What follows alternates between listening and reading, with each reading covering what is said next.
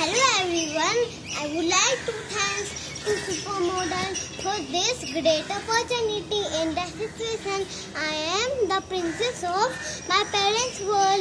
Name Anagya Gupta. I am 6 years old and live in Kalyan with my lovely ma, papa and bhai.